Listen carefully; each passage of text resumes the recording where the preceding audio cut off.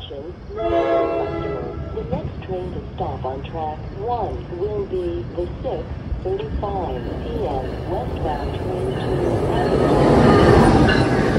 to